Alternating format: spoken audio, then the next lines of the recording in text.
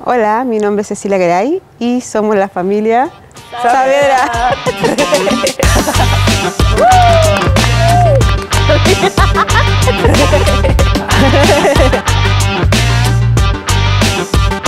Eh, tengo tres hijos, Pablo, Lady y Benjamín.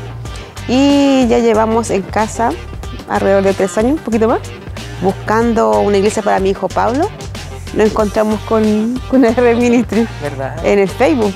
Sí, me llamó la atención los bautismos. No, no recuerdo bien cómo llegué, pero sí me acuerdo como los primeros pasos que empecé a dar y, y fue en la audición de Worship de la Lady, bueno, de AR Banda. Y, y ese día antes, de hecho, yo estaba, antes participaba en un grupo que se llama Estudiantina, era, tocaba música española, bonito. Ahora me da un poco de vergüenza el traje realmente porque era como raro, ¿no? Era como, parecía Romeo, así como Romeo. de Romeo Romeo y Ju- Santos. No Romeo Santos, como de Romeo y Julieta, algo así. Y sí, hijita es mi hermano, para los que no sabían, y ella es mi mamá. y nos parecemos. Oh, igual. Y falta Pablo, como decía mi mamá, mi hermano mayor. Eh, llegamos, seguro solo con Lady íbamos a sentarnos en la banca. que nadie los viera. Íbamos a sonar nuestros corazones. Íbamos a crecer sentadas. Íbamos a escuchar y crecer y sanar. Esa era como nuestra expectativa. Pero menos de un mes eh, ya estaba sirviendo en cocina. ya estaba sirviendo en cocina. eh, hablé con pastor y el pastor me dijo, ya, hágase cargo. Y de ahí fue como el principio de, de la bendición como familia, donde realmente vimos el crecimiento de nosotros. Ser que todos nuestros anhelos, nuestros sueños, eh, todo lo que queríamos lo pudimos hacer aquí en casa y se nos dio la oportunidad.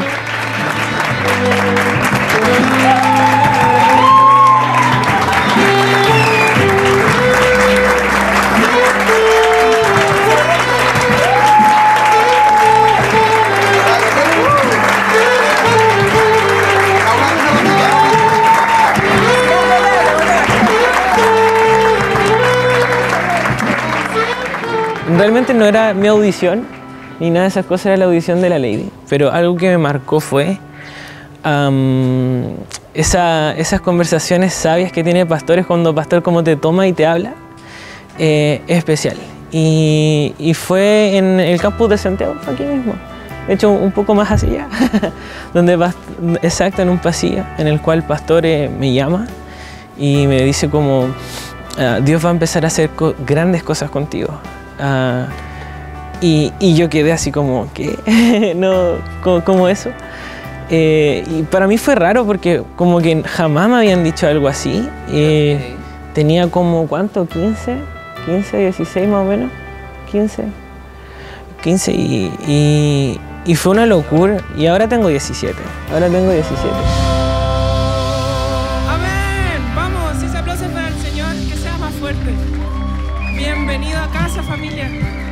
Es verlos aquí. Y, ¿saben? Es tan genial estar aquí en casa porque es Después de tanto tiempo, eh, vivir la iglesia en donde tienes que ir a sentarte a escuchar eh, y no ver un cambio quizás en familias, en la perspectiva de vida, me bastaron unas semanas para sentirme tan especial y amada y fue increíble. Yo dije, esto hay que compartirlo, esto más personas tienen que saber y yo necesito conocer más de esta casa y quiero plantarme tal como, como lo haré siempre. Y pedí una cita con pastor principal de la iglesia. yo dije, ok, si pido una cita, a lo mejor van a pasar algunas semanas, voy a poder hablar con el pastor principal. Y me acuerdo que fue súper rápido, o sea, yo me sentí súper importante porque no me tramitaron nada. eh, y claramente, o sea, pastor no tenía por qué hablar conmigo, eh, venía re- recién llegando a la iglesia. Eh, pero, pero me recibió y eso me impactó. Eh, la cercanía que puede tener con alguien que no conoce teniendo una iglesia. Yo me imagino que en ese momento habían quizás 300 personas, no lo sé, pero era, era bastante. Eh, y fue increíble.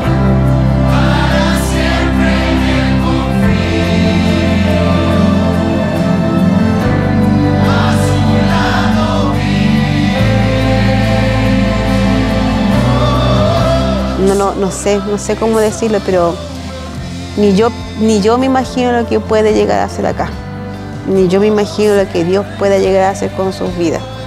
Y, y eso es porque ellos han permanecido, ellos han sido fiel a pesar de. Y aparte que aquí en casa tenemos la oportunidad de crecer mucho más de lo que imaginamos. Eh, porque, porque es así, es así. Eh, yo me acuerdo que antes, eh, no sé, la iglesia me aburría. Era, yo, decía, loco, qué aburrido ir a la iglesia otro domingo. mejor me quedo jugando play, no sé, más entretenido. Y ahora, ¿hace cuánto no toco la play? y, digo, loco, qué increíble que la iglesia no es para soportarla, es para disfrutarla, es para reírse, es para eh, estar con tus amigos, es para crecer.